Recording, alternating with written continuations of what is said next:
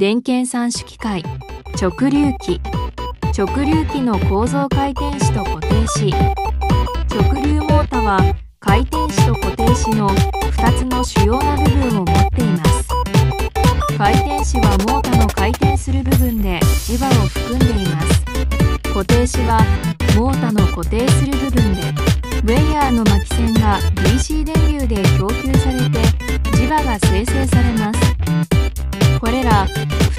磁場の間の相互作用によって回転子が回転するようになります。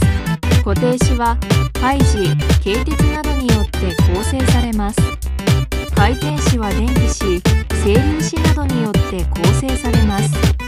電気子鉄心は磁石の大きさと向きが周期的に変化する交番磁石を通しヒステリシス損や渦電流損からなる鉄損が生じます。鉄損を少なくするためケイ素鋼板を積み重ねた積層鉄心が用いられます。電気子巻線法には重ね巻きと波巻きの2種類があります。